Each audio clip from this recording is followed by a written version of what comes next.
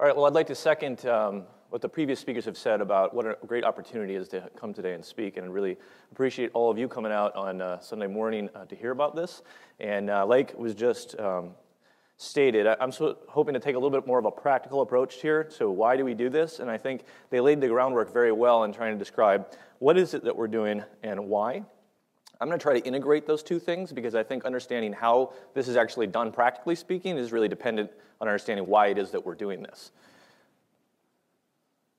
Maybe. There we go.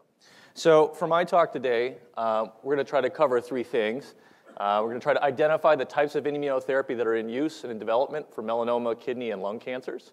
Uh, we're trying to review the rationale for these different kinds of immunotherapy and really discuss the practical aspects of these different types of treatments. So, long and short is here's the answer. So, I can sit down now, but we'll go through it in more detail. So, the three types of treatments that I'm going to talk about are vaccine therapies, which are predominantly given as injections into the skin, just like your flu shot. Cytokine therapies, which were alluded to a little bit earlier, which can be given uh, intravenously or by skin injection. Uh, and monoclonal antibody therapies, which are given as intravenous treatments. And again, understanding what these treatments do will really help you understand why it is we give them the way that we do. But I will just state, notice that these aren't oral treatments, okay? So people come to clinic, they want to get a drug they can take at home, right? It's much more convenient to take your pill at home than to come and get your infusion. And again, we're going to discuss why that is. But long story short is that these are drugs that have biological properties. And so they predominantly are proteins or other sort of uh, molecules that are naturally in your body. So if you were to put them in your mouth, they'd be a lot like your lunch. They would be degraded going through your digestive tract, okay? So, what are the mechanisms of action for immunotherapy? And this has been discussed so far, but I'm going to go through it a little bit further. Um, as we talked about, the tumor finds ways to hide inside your body. Um, they find ways to get the immune system to sort of stop attacking it.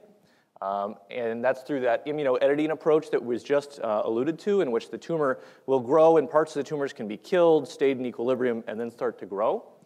It can express factors that can sort of confuse the immune system into not recognizing that the tumor is not supposed to be there. And an example of that is PD-L1, which you're going to hear a lot about today. There are also a number of factors in the tumor itself that are parts of your own body that are acting abnormally that actually tell the immune system to stop attacking the tumor. Um, and that goes to properties of uh, autoimmunity, where you don't want your immune system normally being too active, otherwise it can cause a lot of side effects. And all of you probably know people who have rheumatoid arthritis or inflammatory bowel disease, and that's sort of the reverse of what we're trying to do here. Those people have too much immune system, and it has to do with some of these things being overactive. Um, so what we need to do with immunotherapy is try to overcome these and basically try to wake up the immune system. Um, and I just want to second that it's really important to understand that the drugs in immunotherapy are not, specific, are not, the drug itself is not going after the cancer to try to kill it. These drugs are given to try to induce the patient's body to fight the cancer. So, in the same way, the drugs we give predominantly aren't causing the side effects themselves. The immune system's response is what's causing the side effects. So, the first of these we're going to talk about are vaccine therapies. So vaccines are biological preparations uh, that attempt to improve the immunity after getting an immune response to go after a very specific antigen. And antigens were discussed a little bit earlier. We'll go over them again. Most vaccines that you've heard about are prophylactic vaccines, meaning you get them before you get sick. And the idea is you educate the immune system so that when it gets exposed to something, you don't get sick. You already have an immune response. And the influenza is a good example of that. But in cancer, vaccines are actually slightly different. When we're giving cancer vaccines, patients already have cancer, and that's actually quite different from the prophylactic vaccines that give, get given for infections and need to be understood differently. Vaccines have specific parts, and this is really just for your knowledge base as much as anything. They have the antigen that we're trying to get the immune system to look at. They have something called an adjuvant, which is basically part of the preparation that sort of tries to stimulate the immune system to notice it. And they have a stabilizing agent often, which allows it to have a longer shelf life. This is sometimes more and less in uh, cancer vaccines. So the way this works in reality is that um, in some preparations is that you give these antigens, which can be any kind, so part of the tumor, part of a virus, part of a peptide, Those dendritic cells get injected, in, when it gets injected into the body, the dendritic cells find it. They then go to the lymph nodes and tell the T cells who go after the tumor.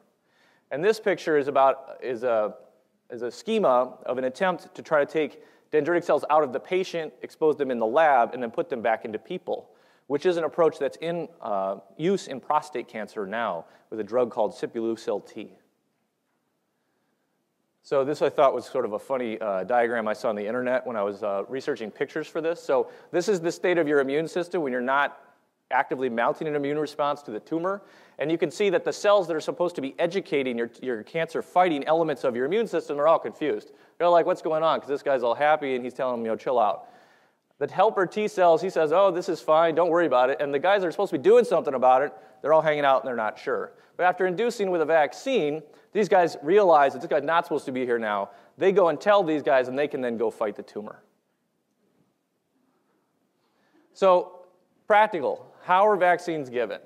So, I said that the predominantly they're injected in the skin. And that's because you want, once they're injected, for the immune, the dendritic cells to notice them, take them up, to then go show the rest of the, can, the rest of the immune system. They're injected as a depot because you want them to sit there and allow the other immune cells that notice them to get there and, and find them. If you injected them in the bloodstream, they'd go away very quickly. How often are they, are they given? Well, that varies somewhat depending on what the vaccine is, but generally speaking, it's on the order of two to four weeks. How long does it take to receive this? This can vary somewhat as well, but again, it's just a shot, so that generally speaking doesn't take too long. Often it needs to be prepared, so there is some time on the back end. It might need to be thawed. That might take an extra half hour or an hour, but generally speaking, these treatments are relatively quick. Do any medicines have to be taken before or after? Well, generally no. Um, it's an injection, so sometimes that hurts a little bit, so you could take some Tylenol or uh, a compress around that area. And are there contraindications to getting medicines? Well, not, not particularly, uh, except that you want to make sure that you're not actually allergic to anything that they're going to inject you with, right? So they always ask you when you get your flu shot, are you allergic to eggs, et cetera? You would want to make sure you're not already allergic to what they're going to inject you with. And are there any drug interactions or medicines you shouldn't take along with it? And again, in general, no, but you know, we're trying to mount an immune response. So if you're on heavy doses of drugs that suppress the immune system, that doesn't really make sense. So you wouldn't really want to be taking those. And how many doses would you take and how long do you need to take it? This varies quite a bit. Um, and um, in different settings, you may take it open ended, but in a lot of cases, you may take a certain number of doses before they're going to try to attempt and see whether or not it's working. So, the next form of immunotherapy we're going to discuss are cytokines. And I think for patients, this might be the uh, form of immunotherapy that's sort of the least practical in understanding. Cytokines are very small proteins that are important to the signaling, or in other words, the immune cells talking to each other, getting activated, and moving around in your body.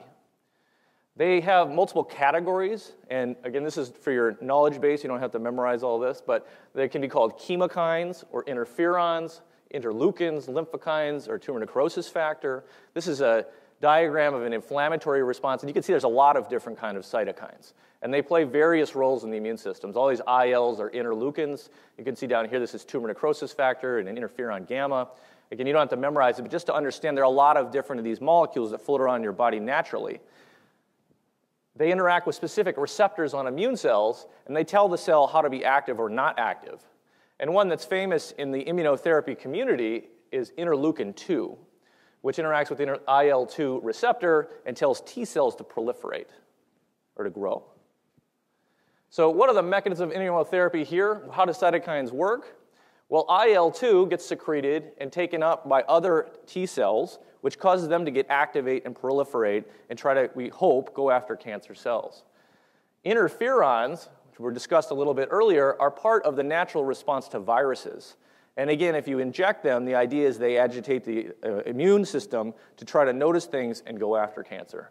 And this was a little uh, premature. You got, got too big too fast. But the point is supposed to be you give these and it ramps up the immune response to go after the cancer. But it's somewhat nonspecific because these aren't specific to a, a certain kind of uh, cancer molecule. So, how are these treatments given? Well, so these can be given as injections. So, interferon is commonly given as a depot injection. But other, one, other treatments are given as intravenous therapies. So interleukin 2 is a treatment that's given IV and therefore given in the hospital. How often are they giving? Again, this varies on which one. It can be every couple of days if you're doing the skin injection. But if you're doing one of the IV therapies, this can actually require inpatient hospitalization. So patients who are uh, undergoing melanoma therapy sometimes get uh, IL-2 and they have to be admitted to the hospital uh, for a week at a time. How long does it take to receive them? Again, obviously, if you're getting a shot, that's going to be a lot different than if you're getting an IV therapy, and it's specific to which kind of cytokine that you're getting. And are there any medications that you could take before or after? Again, not particularly. If you're getting an injection, again, it might hurt a little bit. If you're getting one of the cytokines sometimes that's intravenous, sometimes the side effects can be severe, and a lot of medicines that can be given, but that'll be under the care of a doctor. Are there any contraindications for taking these? Well, not exactly, but cytokines can be very difficult on the normal system. So cytokines are very tightly regulated under normal conditions in your body. And if you give really high doses of them, that obviously puts things in flux in different ways than they're really supposed to be. And you have to be very careful because they can induce a lot of different problems, heart problems or lung problems or psychiatric problems. And if you have any of these that are severe beforehand, cytokine treatment might not be the best for you. And are there any drug interactions or medicines I shouldn't take along with it? Again, not particularly, but again, I'm trying to activate the immune system, so don't take drugs that would uh, block the immune system. And how many doses and for how long? Well, that depends. For melanoma, if you take interferon treatment, that treatment is often given for a year if possible. Interleukin 2 therapy is usually given in the hospital for a week at a time, um, and that treatment's given every 12 hours, and a doctor sees how well the patient tolerates the treatment and whether or not it's working and whether or not to give more doses.